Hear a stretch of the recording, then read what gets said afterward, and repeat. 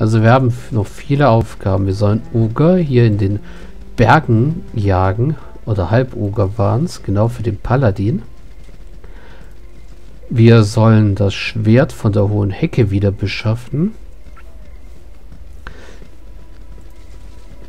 Wir sollen einen Umhang aus dem Mantelwald wiederholen.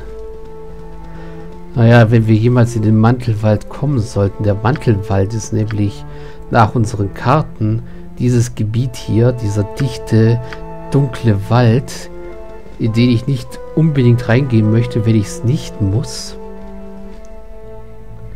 Oh, hallo Wildhund. Oh, sogar zwei Kampfhunde. Meine Klinge wird euch zurechtstutzen. So, noch ein Kampfhund weg. Gucken wir mal nach Norden. Ah, da ist nur das Nachbargebiet. Gut. Eure Gesellschaft ist in dieser Gruppe sehr willkommen. Hier gibt es schön viele Bäume. Oh, eine... Töten Männer, die mich machen böse. Okay, halb Meine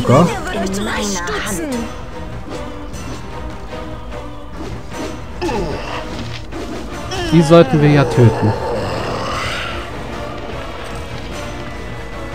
Hat nichts Wichtiges dabei, außer etwas Gold.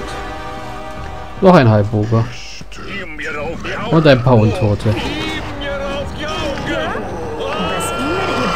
Der Halboger ist schon tot, da ist noch einer.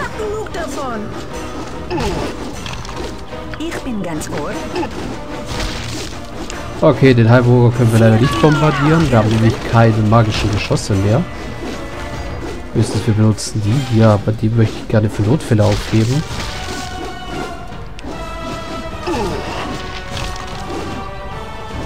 So, als Schriftrolle sind die nämlich meistens mächtiger.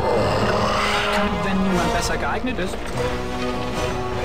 So, etwas Geld. Ein Ring. Beinahe unter meiner Würde. Das müssen wirklich die Oger sein, die Halboger sein, die genau der Paladin gemeint hat.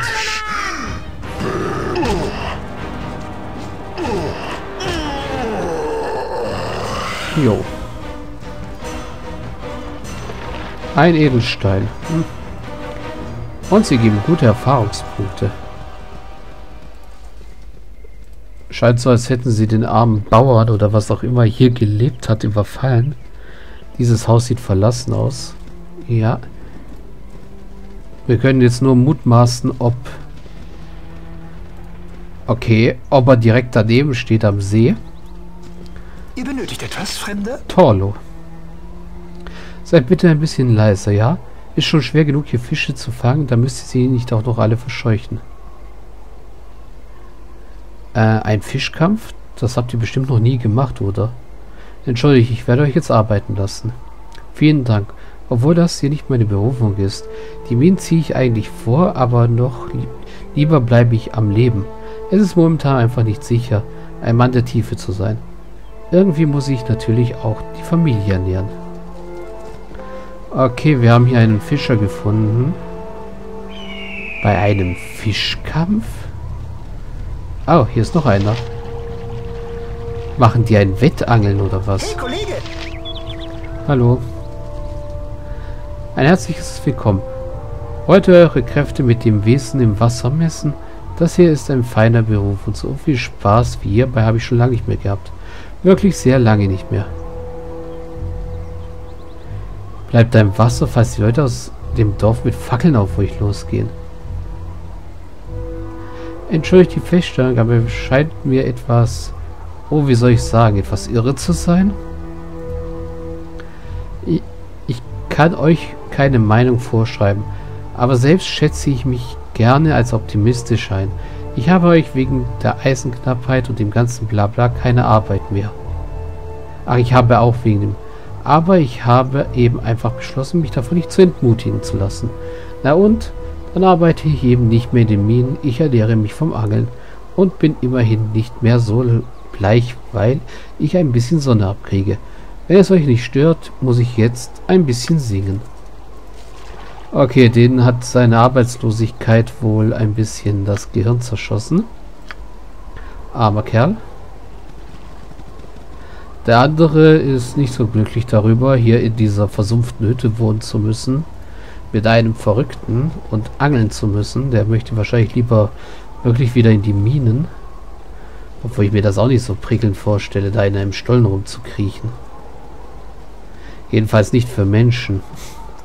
Zwerge ist da wieder eine andere Sache, aber Zwerge sind auch ein bisschen anders gepolt als Menschen. Was das angeht. Die arbeiten gerne unter Tage und holen gerne Schätze aus ihren Minen. Die haben auch viel schönere Minen als Menschen. Weil für, Men für Zwerge sind Minen auch ein bisschen, naja, wie soll man sagen, Statussymbol. Wenn man schöne Minen hat und eine schöne Halle. Oh, da geht's an die Küste. Beinahe unter meiner Würde. Da ist man als Zwerg halt glücklich. Für einen Menschen ist eine Biene nur optional. Was heißt optional? Ich meine Dings, ähm... Ach, wir, funktional, so wollte ich sagen. Wir holen da einfach Erz raus. Das Ding muss einfach halten, bis wir damit fertig sind. Das muss nicht schön aussehen. Zwerge geben sich mit ihren Minen echt viel mehr Mühe und deswegen... Hallo Ogrillion. Zwerge wollen halt mit ihren Minen auch noch etwas anfangen. Zum Beispiel so lange so tief graben, bis sie einen Ballrock finden. Ja, nichts leichter als das. So, was hattet ihr dabei? Goldmünzen. Noch so ein Edelstein. Und eine Schmierenschriftrolle.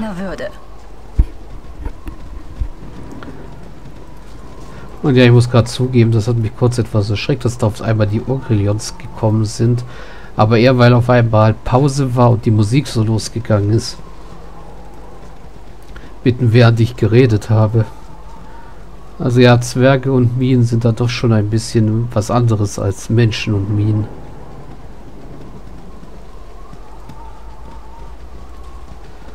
Ich meine, bei Menschen sind, wir stehen Minen hauptsächlich aus öden Stollen.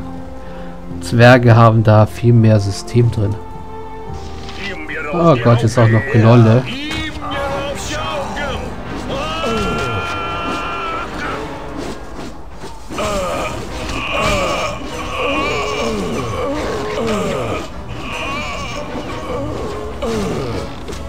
Sterbt, Knolle. Nicht weglaufen. Gut. Dies ist mein Waldspruch. Ah, dann knall die halt einfach ab.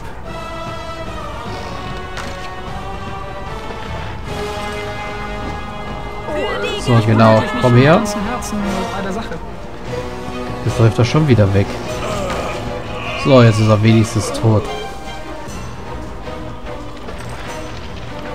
So, ich habe ja eigentlich gesagt, ich plündere keine Gnolle mehr, aber nachdem wir keine kaum noch Geld haben, ist mir das einfach sicherer. So, Ja, gut. wenigstens so nochmal an ein bisschen Geld zu kommen. Dafür hat Imoen jetzt wenigstens ihre dunkle Rüstung. Damit sieht sie jetzt auch schon ein bisschen böse aus, muss man ehrlich sagen. Also wenn man sich Imoen hier so mal ansieht mit der schwarzen Rüstung, sieht sie schon ein bisschen böser aus als ohne Rüstung. Und vor allem hat sie mit der Rüstung verdammt gute Stats eigentlich. Minus 1, minus 1, minus 2. Genau, sehr, sehr gute Rüstung.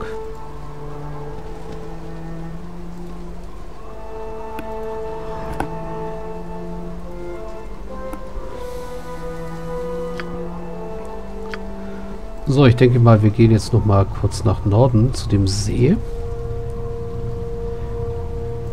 Umrunden den See und gucken dann hier im Süden weiter. Auch wenn südlich hier eigentlich nichts mehr sein sollte. Ah, hier ist schön viel Wald. Ja, ich mag das an dem Spiel. Die Umgebung variiert sehr stark. Und es gibt auch viele kleine Details.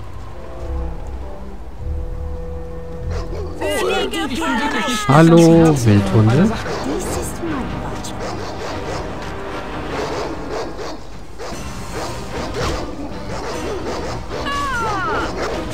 Au. Für die Gerechtigkeit. Was wollt ihr? Nichts leichter als das. So. Ein paar Wildhunde ausschalten. Wieder hoch zu dem See.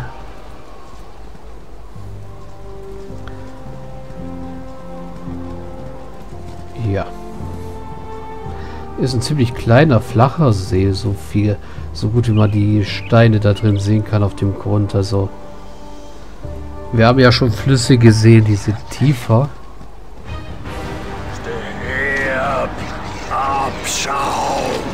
Hallo, Gnolle.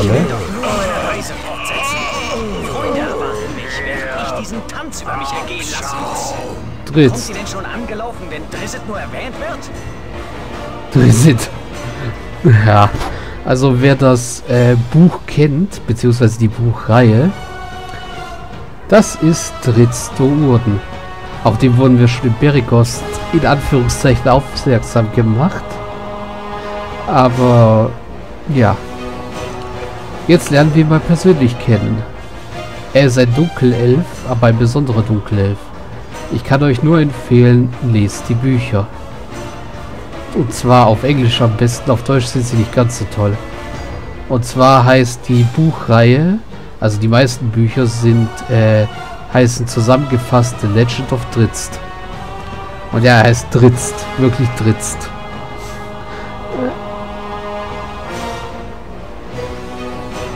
Also, ihr da, helft ihr, helft ihr einem Fremden in der Not, ich bin von Gnollen befallen. Ja, das sieht man. Fürchtet euch nicht, wir werden nicht tatenlos zusehen, während andere in Gefahr sind.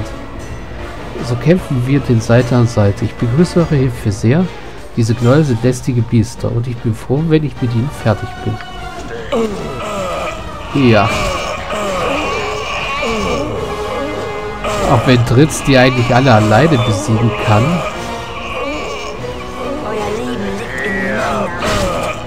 Genau, der, der haut die einfach mal so um mit seinen beiden Waldspruch.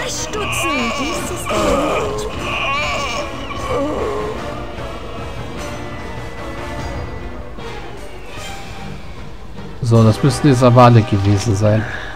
Dieses Kaffeekränzchen ist ja ganz nett. Aber es gibt Orte, an denen ich jetzt lieber wäre. Mhm. Fremder und Freund, ich bin Dritzt du Urden. Diesmal ist es sogar richtig geschrieben.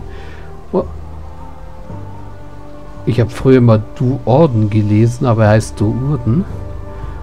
Und weiß eure Hilfe zu schätzen. Die Reise zum Eiswindtal ist auch ohne diese ständigen Unterbrechungen lang genug. Noch nie gab es in dieser Gegend so viele Räubereien. Seit wann ist es denn so schlimm? Das war nicht immer so. Mein Anliegen ist es, wieder Frieden in dieses Land zu bringen. Die verfluchten Überfälle nehmen kein Ende. Genau wie mein Hass auf diejenigen, die dahinter stecken. Ah, das klingt zu negativ.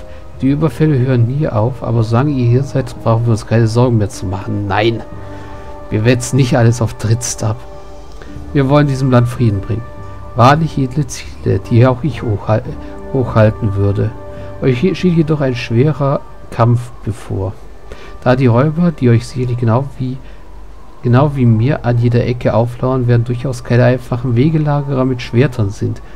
Die Menschen unter ihnen gehören offensichtlich zu den schwarzen Krallen. Die Kobolde zur kalten Hand. Das müssen die beiden Söldnergruppen sein, von denen Tranzig erzählt hat.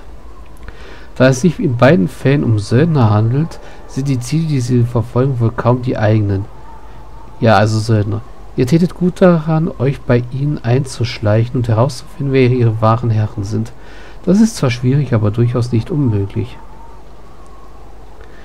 Äh, was ich bei dieser Buche nicht brauche, sind leere Worte, das stimmt nicht. Ich hätte nicht gedacht, dass Trittsturen behauptet, ich verstecke mich hinter meinen Worten. Das ist auch irgendwie falsch. Das ist ein weiser Rat, den ich beachten werde. Ihr sollt wissen, dass ich euch für die Reise das Beste wünsche. Das tun wir allerdings. Das Glück möge auf eurer Seite sein, mein Freund. Tagebuch.